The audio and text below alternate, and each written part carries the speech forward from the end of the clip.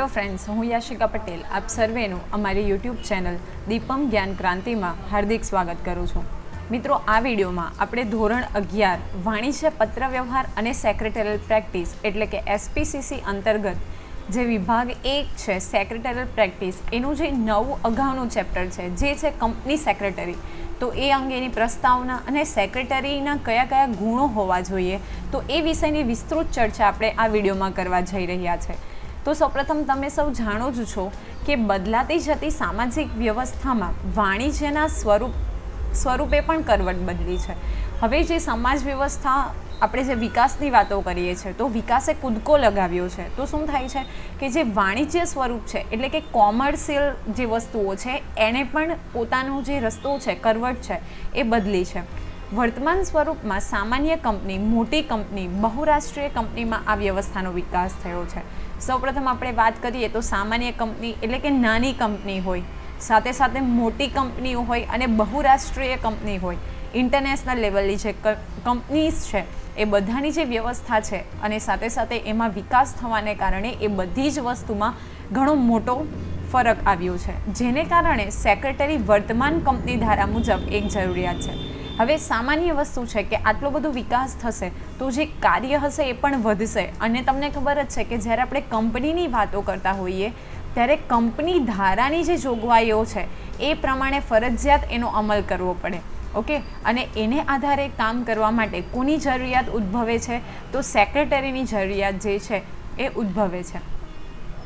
Company secretary કંપનીના માળખામાં એક વિશિષ્ટ સંચાલકીય અધિકારી છે. ખૂબ જ અગત્યનું છે કે જે કંપની છે, એમાં સેક્રેટરીની ફરજ શું હોય તો એક વિશિષ્ટ સંચાલકીય અધિકારી છે.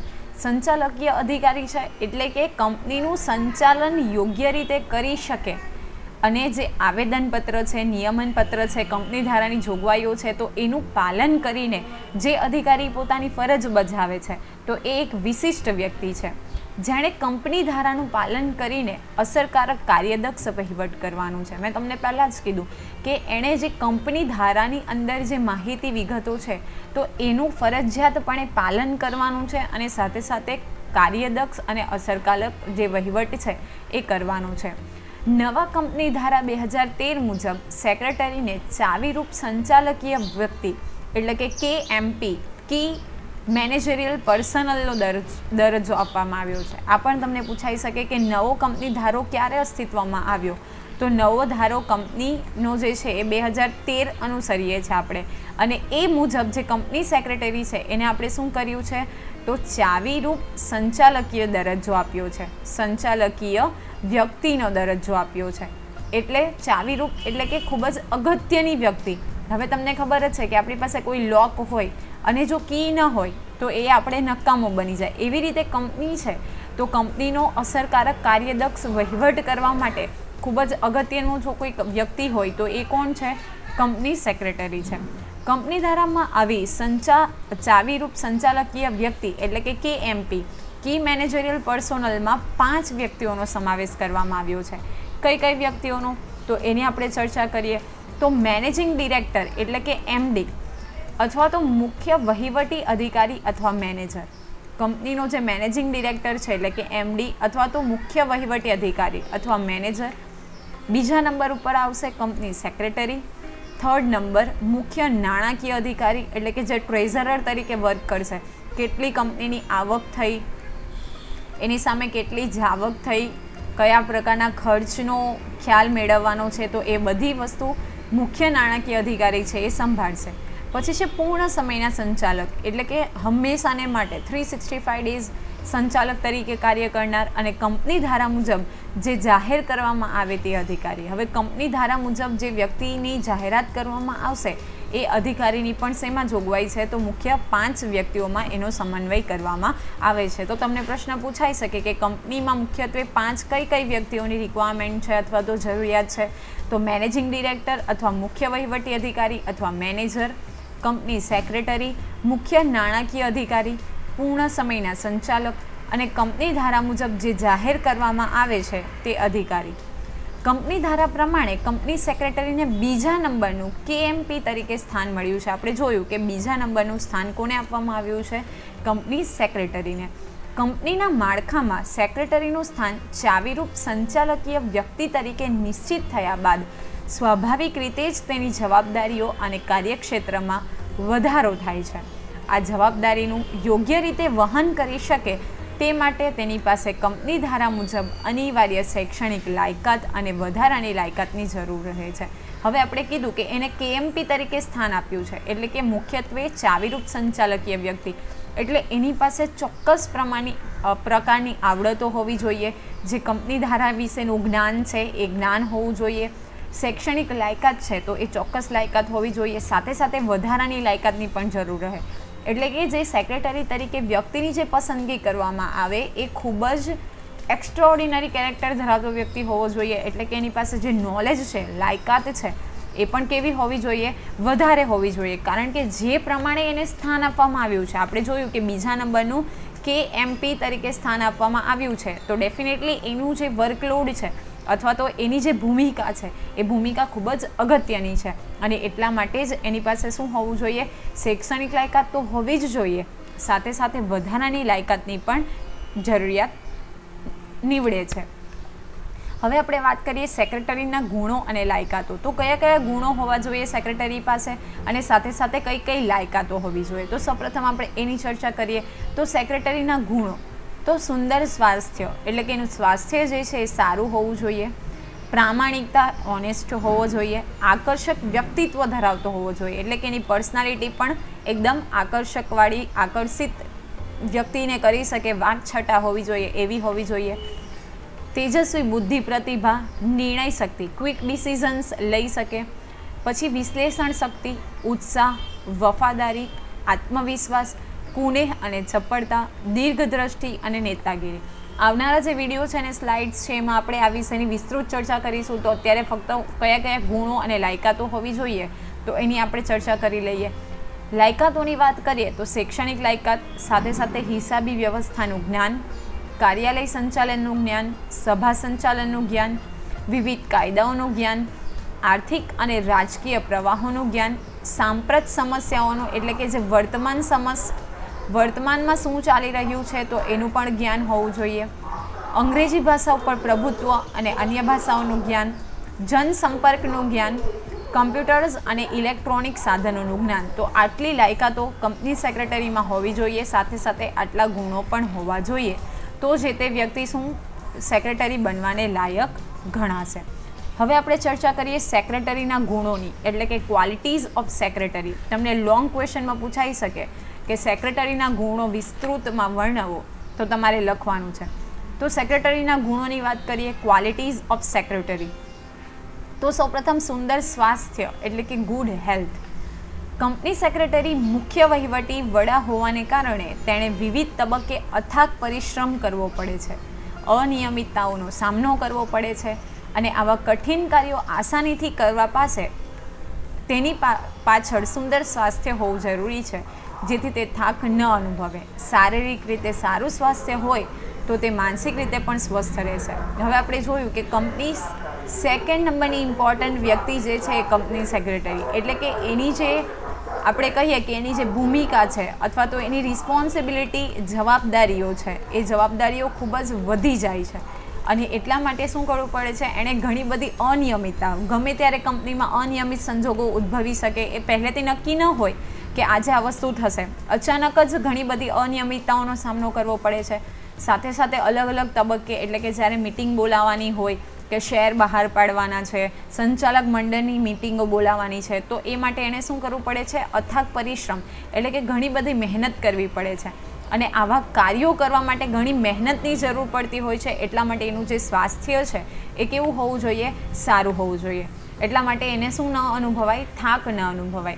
સાથે સાથે શારીરિક રીતે જો એ સારો હશે, તો માનસિક રીતે પણ શું કરી શકશે? સારા નિર્ણયો લઈ શકશે. એટલે સૌપ્રથમ એના માટે શું જરૂરી છે?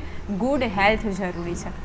પછી છે પ્રામાણિકતા, એટલે કે ઓનેસ્ટી સેક્રેટરી કંપનીમાં મુખ્ય ચાવીરૂપ સંચાલકીય વ્યક્તિ, એટલે કે કે એમપી જેને કારણે તે કંપનીની અનેક બાબતો જાણતો હોય છે. તેથી તે શુભ નિષ્ઠાથી અને પ્રમાણિકતાથી કામ કરે તે જરૂરી છે. તેની સુટેવો અન્ય અધિકારીઓને પ્રેરણારૂપ બને છે અને પોતે ચારિત્ર્યવાન બને છે. અંગત હિતની જાળવણીના બદલે કંપનીના હિતની જાળવણી માટે તેનામાં પ્રામાણિકતા જરૂરી છે. ખૂબ જ અગત્યનું છે કે એકદમ ચાવીરૂપ સંચાલકીય વ્યક્તિ છે એટલે કે કંપનીના જેટલી સિક્રેટ્સ છે, જેટલા રહસ્યો છે એ બધા જ રહસ્યોની જાણ કોને હોય છે? તો સેક્રેટરીની હોય છે. તો આવા સંજોગોમાં જે સેક્રેટરી છે, એ આવા રહસ્યો છે, તો એને પોતાના પૂરતી જ સીમિત રાખે અને સાથે સાથે નિષ્ઠાથી અને પ્રમાણિકતાથી કામ કરે તે જરૂરી છે. અને સાથે સાથે જો સેક્રેટરીની જે ટેવો છે, એ સારી હશે, તો શું થશે? એનાથી જોઈને બીજા જે અધિકારીઓ છે, તો એ પણ પ્રેરણા એમાંથી બનશે. અને સાથે સાથે શું થશે? કંપનીનું હિત તો જળવાશે જ જળવાશે. અને શું થશે? કે અંગત હિતની પણ જાળવણી થશે. એટલા માટે કંપ એનામાં શું હોવું જોઈએ, પ્રામાણિકતા હોવી જોઈએ. હવે તમને ખબર જ છે કે જો તમારી સામે કોઈક રોલ મોડેલ છે તમારું કે જેને તમે આદર્શ માનો છો, તો એ વ્યક્તિ જો ઓનેસ્ટ હશે, તો ડેફિનેટલી તમે એનામાંથી ઓનેસ્ટીના જે ગુણ છે એ શીખશો. પરંતુ જો તમે કોઈક અસામાજિક તત્વો હોય કે ચોર હોય કે એવી વ્યક્તિના સંપર્કમાં આવશો તો તમે પણ શીખશો. આપણે કહીએ છીએ ને કે જેવો સંગ તેવો રંગ. તો આ જ વસ્તુ અહીંયા પણ છે કે જો કંપનીનો પાયો જ જે છે, એટલે કે સેક્રેટરી તો એ પ્રામાણિક હશે તો બીજા જે વ્યક્તિઓ છે એ પણ કેવા બનશે? પ્રામાણિક જ બનશે. એટલા માટે એનામાં પ્રામાણિકતાના ગુણો હોવા જરૂરી છે. પછી છે આકર્ષક વ્યક્તિત્વ, એટલે કે એટ્રેક્ટિવ પર્સનાલિટી સેક્રેટરીએ કંપનીના વિવિધ પક્ષકારો સાથે કામગીરી કરવાની હોય છે. જેમ કે શેર હોલ્ડર, ડિબેન્ચર હોલ્ડર, સંચાલક મંડળ, સરકારી અધિકારીઓ અને કર્મચારીઓ, સામાન્ય પ્રજાજનો વગેરે સાથે કામગીરી કરવાની હોય છે. સાથે સાથે સરકારી વિભાગો બેન્કો અને અન્ય નિષ્ણાંત વ્યક્તિઓ સાથે પણ કામગીરી કરવાની હોય છે. આથી એનું વ્યક્તિત્વ સામા પક્ષને પ્રભાવિત કરી શકે તેનું પ્રભાવશાળી અને આકર્ષક હોવું જોઈએ. હવે મારે વારે ઘડીએ કહેવાની જરૂર નથી કે જે સેક્રેટરી છે એ કેએમપી તરીકે આપણે ગણીએ છીએ એટલે શું કરશે? ઘણા બધા પક્ષકારો જે છે, જે કંપની સાથે સંકળાયેલા છે. ફોર એક્ઝામ્પલ શેર હોલ્ડર છે ડિબેન્ચર હોલ્ડર છે, સંચાલક મંડળ છે, સરકારી અધિકારીઓ અને કર્મચારી છે, સામાન્ય પ્રજાજનો છે. તો એ બધાની સાથે ભેગા મળીને એણે કામગીરી કરવાની હોય છે. સાથે સાથે સરકારી જે વિભાગો છે, એની સાથે પત્રવ્યવહાર હોય કે બેન્કો હોય કે જે એક્સપર્ટ્સ છે, તો એની સાથે પણ એણે શું કરવાનું છે? કંપનીના વિકાસ માટેની કામગીરી કરવાની છે. એટલે જ્યારે એ પોતાની જાતને પ્રેઝન્ટ કરશે, હવે તમને ખબર છે કે પ્રેઝન્ટેશન્સ છે. કંપની જે હોય એ પોતાની રીતે પ્રેઝન્ટ કરતી હોય કે અમારે આ જે અમારા ઉદ્દેશો છે, આવી રીતે અમે આગળ વર્ક કરવા માંડીએ છીએ. માંગીએ છીએ, તો એ બધી જવાબદારી કોની છે? કંપની સેક્રેટરીની છે. એટલે એનું વ્યક્તિત્વ કેવું હોવું જોઈએ? એનું વ્યક્તિત્વ જે છે, એ સામેની વ્યક્તિને પ્રભાવિત કરે એવું હોવું જોઈએ. ઘણી વખત આપણે જોઈએ ને કે જે રિસોર્સ પર્સન હોય, તો ભલે એનું જે સેમિનાર હશે, એ સિમ્પલ હશે, પણ એનું પર્સનાલિટી એવી હશે કે સામે બેઠેલા જે દર્શકો છે, એ એના આકર્ષિત જ રહેશે હંમેશા. ત્રણ કલાક ક્યારે પૂરા થઈ જાય આપણને ખબર જ ન પડે. તો સેમ તો જે કંપની સેક્રેટરી છે, તો એનું વ્યક્તિત્વ પણ કેવું હોવું જોઈએ? આકર્ષક હોવું જોઈએ. આપણે કહીએ ને કે આપણી જે વાકછટા છે, એનાથી આપણે સામેની વ્યક્તિને ઇઝીલી કન્વિન્સ કરી શકીએ. તો એવું વ્યક્તિત્વ એનું હોવું જોઈએ.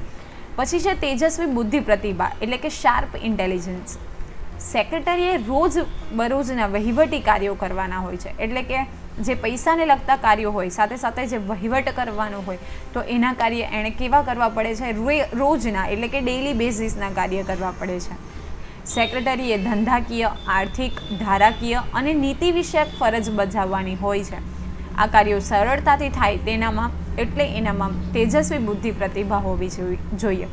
ધંધાકીય સાથે આર્થિક, ધારાકીય એટલે કે કાયદાકીય રીતે. કયા કાયદાકીય રીતે? તો કંપની ધારામાં જે જોગવાઈઓ છે એ પ્રમાણે. સાથે સાથે એના જે નીતિ વિષયક છે પ્રામાણિકતા છે, જે બીજા બધા કાર્યો છે, તો એ બધા કાર્યો કરવાના હોવાથી એનામાં કેવી હોવું જોઈએ? તેજસ્વી બુદ્ધિ પ્રતિભા હોવી જોઈએ. પછી છે નિર્ણય શક્તિ, એટલે કે ડિસિઝન કેપેસિટી કોઈપણ બાબતમાં ત્વરિત નિર્ણય લેવાનું કાર્ય મુશ્કેલ હોય છે, પરંતુ રોજબરોજના સફળ વહીવટ માટે ઝડપી નિર્ણય શક્તિ જરૂરી છે. જો સેક્રેટરી ઝડપી અને યોગ્ય નિર્ણય લે તો કંપનીનો સમય, સાધન અને શક્તિનો બચાવ થાય છે. આપણે જોયું કે ક્યારેક કંપનીમાં અનિયમિત સંજોગોનું શું થાય છે? ક્રિએટ થાય છે. તો એ સમયમાં શું થશે? કે તમારે ઝડપી નિર્ણય લેવા પડે. હવે આપણે જોઈએ ઘણી વખત એવું થાય. ફોર એક્ઝામ્પલ હું તમને આપું કે એક્સિડન્ટ થયું હોય, તો આપણે એવું નહીં કે પહેલાં હું આને ફોન કરીશ, આને ફોન કરીશ. તરત ક્વિક ડિસિઝન્સ લેવા પડે કે શું કરવું છે આગળ? અર્થક્વેક આવ્યો હોય એટલે કે ભૂકંપ આવે તો આપણે તરત નિર્ણયો લેવાના છે. તો એવી જ રીતે કંપનીમાં જે અનિયમિત સંજોગો ક્રિએટ થાય તો એના માટે ઝડપી નિર્ણયો લેવા પડે. તો શું થશે? કંપનીનો સમય બચશે, સાધનો પણ બચશે અને સાથે સાથે શક્તિનો પણ બચાવ થશે. તો એટલા માટે જે સેક્રેટરી છે, એની નિર્ણય શક્તિ કેવી હોવી જોઈએ? એકદમ ડિસિઝન કેપેસિટી એટલે કે એની ક્વિક ડિસિઝન લઈ શકે. પણ ક્વિક ડિસિઝન એટલે એવું નહીં કે પછીથી હેરાન થાય. સચોટ નિર્ણય લઈ શકે એવા વ્યક્તિ તરીકે આપણે નિમણૂક કરવાની છે. પછી છે વિશ્લેષણ શક્તિ, એટલે કે એનાલિટિકલ કેપેસિટી સેક્રેટરીએ કંપની વતી કરારો કરવાના હોય છે. તેના સંદર્ભમાં જુદા જુદા પાસાઓનું વિશ્લેષણ કરવાની ક્ષમતા હોવી જોઈએ. હવે કંપની વતી કરારો કરે છે, એટલે કે બીજી કંપની સાથે, સરકાર સાથે, બેંક સાથે, તો એ કરારો કંપની, તો આપણને ખબર જ છે કે કંપની જે છે એ સજીવ નથી. પરંતુ એને એવો હોદ્દો આપવામાં આવ્યો છે. તો કંપની વતી જે કરારો કરવાના છે, તો એ કામ કોનું છે? સેક્રેટરીનું છે. તો એ જુદા જુદા પાસાઓ કે શેમાં રોકાણ કરવાથી શું ફરક પડશે? કયા શેર બજારમાં રોકાણ કરવા પડશે? કેટલા પ્રમાણમાં શેર બહાર પાડવાના છે?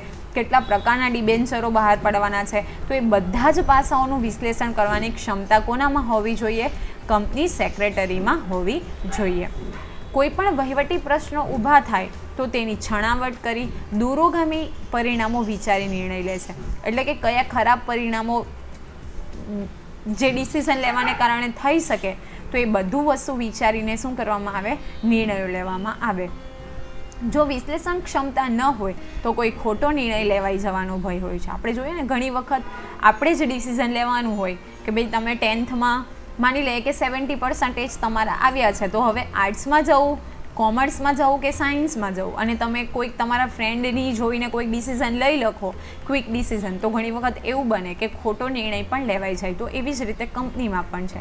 પછી છે ઉત્સાહ, એટલે કે એન્થ્યુઝિયાઝમ તો ઉત્સાહી સેક્રેટરી અન્ય કર્મચારીઓ માટે પ્રેરણારૂપ છે. કારણ કે નિરુત્સાહી વ્યક્તિ કામને બોજ બનાવી દે છે જ્યારે ઉત્સાહી વ્યક્તિ કાર્યને સરળ બનાવે છે. આ પણ અગત્યનું છે કે જો કંપનીનો પાયો જ એકદમ એમ નબળો નબળો હોય, એ ઉત્સાહ બતાવે જ નહીં, કોઈને મોટિવેટ જ નહીં કરે, તો બીજા કર્મચારીઓને ક્યારેય પ્રેરણા ન મળે. એટલે પોતે કંપની સેક્રેટરી ઉત્સાહથી કામ કરે એવો હોવો જોઈએ. પછી છે વફાદારી, એટલે કે લોયલ્ટી. કંપની સેક્રેટરી કંપનીનો મુખ્ય અધિકારી હોવાને કારણે તેની પાસે કંપનીની ઘણી બધી સંવેદનશીલ બાબતો અને ગુપ્ત બાબતો હોય છે, જેથી તેનામાં વફાદારી હોવી જરૂરી છે. જો તે હરીફ કંપનીને રહસ્યો આપી અંગત સ્વાર્થ સાધે, તો કંપની ચાલી શકે નહીં. હવે આજના જે સમયમાં આવી વસ્તુ ઘણી બધી બનતી હોય છે કે બ્લેકમેલિંગ ઓકે? અને જો કોઈક વધારે કંપ પૈસાથી લાલચ આપવામાં આવે, તો શું થશે? કે સેક્રેટરીને ખબર જ છે કે બધા જે સિક્રેટ્સ છે કંપનીના જાણતો હોય તો એને કોઈક બીજી કંપની દ્વારા વધારે પૈસાની ઓફર કરવામાં આવે અને એ જો ફૂટી જાય અથવા તો એ પોતાનો જે પક્ષ છે, એ પલટો કરી નાખે, તો શું થશે? કંપની જે છે, તો એ કંપની ચાલી શકે નહીં. એટલે કે પોતાનો અંગત સ્વાર્થ ન વિચારે, તો એવો વફાદાર વ્યક્તિ સેક્રેટરી તરીકે નીમવામાં આવે છે. પછી છે આત્મવિશ્વાસ, એટલે કે કોન્ફિડન્સ. સેક્રેટરી જે કાર્ય કરે અથવા નિર્ણય લે, તેમાં તેનો આત્મવિશ્વાસ હોવો જોઈએ. તે જે કામગીરી કરે છે, તેમાં સફળતા મળશે જ એવો આશાવાદ હોવો જરૂરી છે. આત્મવિશ્વાસ ધરાવતું સેક્રેટરી વહીવટી ગૂંચોને સરળતાથી ઉકેલે છે. હવે આપણે જોયું કે કોઈક અચાનક સંજોગો ઊભા થઈ જાય, તો એ વિશ્વાસથી નિર્ણય લઈ શકે એવો વ્યક્તિ હોવો જોઈએ. અને એનામાં મનો, જે મનોબળ છે, એકદમ દ્રઢ હોવું જોઈએ કે ચોક્કસ આવું કરીશું તો સફળતા મળશે જ અને સાથે સાથે આશાવાદ હોવો જોઈએ. નેગેટિવિટી નહીં પોઝિટિવિટી હોવી જોઈએ. જેથી કરીને શું થશે કે જે વહીવટી ગૂંચો છે, એનો સરળતાથી ઉકેલ આવી શકે. પછી છે કુનેહ અને ચપ્પડતા. પ્રેક્ટફુલનેસ એન્ડ સ્માર્ટનેસ સેક્રેટરી પાસે કાયદાની જટિલ બાબતો સમજવાની મુશ્કેલ સંજોગોને આસાન બનાવવાનો કુણે હોવો જોઈએ. હવે તમને ખબર છે કે જે કાયદાની ભાષા છે, એ ખૂબ જ ગૂંચવણ ભળેલી હોય. આપણને ક્યારે ક્યારે તો સમજ ન પડે કે કહેવા શું માંગે છે. તમે જ્યારે બે ત્રણ વખત વાંચો, તો ત્યારે તમને ખબર પડે. એટલે કે આ કાયદાની જટિલ બાબતો છે, એ સમજવાની જે મુશ્કેલ સંજોગો આવી પડે, તો તેને આસાન બનાવવા માટે એનામાં કેપેસિટી હોવી જોઈએ. પોતાની આસપાસ શું બની રહ્યું છે કેવા ફેરફારો થઈ રહ્યા છે તેનો ખ્યાલ ચપ્પળ વ્યક્તિને તરત આવી જાય છે. એટલે કે કરંટ ફેક્ટ જે છે, તો એના વિશે પણ એ માહિતગાર હોવો જોઈએ. હવે બની શકે કે આપણે ફોર એક્ઝામ્પલ લઈએ કે બધી કંપનીઓ જે છે એ વેબિનાર યોજતી હોય ઇન્ટરનેશનલ લેવલ ઉપર અને આપણે ટેલિફોનિક ટોક કરતા હોઈએ તો એ કોઈ જરૂરી જ નથી. તો જે વખતો વખતની પરિસ્થિતિ છે તો એની સાથે ચાલવાની જે કુનેહ છે અને ચપ્પડતા છે સ્માર્ટનેસ છે, એ કંપની જે સેક્રેટરી છે એમાં હોવી જોઈએ. પછી છે દીર્ઘ દ્રષ્ટિ એટલે કે ફોર સાઇટ એટલે કે ભવિષ્યની સાથે સંકળાયેલી બાબત.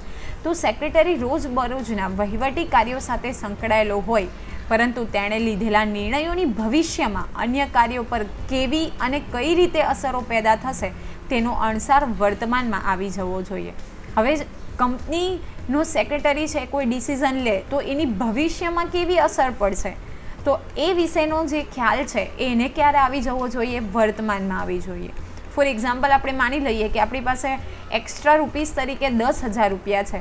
તો વર્તમાનમાં જો તમે એને વાપરી નાખશો, તો ભવિષ્યમાં પણ તમે એવું કરશો કે આ જે દસ હજાર રૂપિયા છે, એનું તમે રોકાણ કરશો, તો એ ભવિષ્યમાં તમને શું ફાયદો જ કરવાના છે. ઓકે તો એનો અણસાર આપણને ક્યારે આવવો જોઈએ? વર્તમાનમાં આવવો જોઈએ. મતલબ કે પાણી વહી જાય પછી પાળ બાંધવાનો કોઈ મતલબ નથી. એટલે કે તમે જે ડિસિઝન્સ લો છો, એની ફ્યુચરમાં કેવી અસર થશે? તો એ અંગેનો ખ્યાલ આપણને ક્યારે આવી જવો જોઈએ? વર્તમાનમાં જ આવી જવો જોઈએ. પછી છે નેતાગીરી, એટલે કે લીડરશિપ કંપની સેક્રેટરીમાં ઉચ્ચ હોદ્દો ધરાવતો જવાબદાર વ્યક્તિ અને અધિકારી છે. તેના હાથ નીચે ઘણા બધા વ્યક્તિઓ કાર્ય કરતા હોય છે. તેમની પાસેથી સમયસર ધાર્યું કામ કરાવવાની ક્ષમતા તેનામાં હોવી જોઈએ.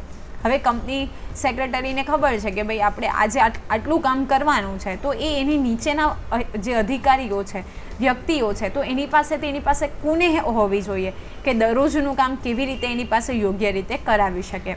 આ માટે કાર્યસૂચ પહેલ કરવાની વૃત્તિ, એટલે કે સૌપ્રથમ એ કામ કરશે. એવું નહીં કે બીજાને કહેશે કે તમે આ કામ કરો. પહેલાં એ કરશે અને એક શું કરશે? દ્રષ્ટાંત ઊભું કરશે. પછી છે સહકારની ભાવના એટલે કે કોઓપરેશન સાહસિકતા વગેરે નેતાગીરીના ગુણ તેનામાં હોવા જોઈએ. ઇન શોર્ટ જે કંપની સેક્રેટરી છે એ નેતા છે અને જેની પાછળ ઘણા બધા લોકોએ કામ કરવાનું છે. તો એ જ કેવો હોવો જોઈએ? એકદમ સ્ટ્રોંગ હોવો જોઈએ. અને એનામાં હંમેશા પોઝિટિવ પોઝિટિવિટી હોવી જોઈએ. તો અને તો જ શું થશે કે બીજા વ્યક્તિઓ પણ સારી રીતે કામ કરી શકશે. તો આશા રાખું છું કે તમને આ જે ગુણો છે એમાં સમજ પડી ગઈ હશે.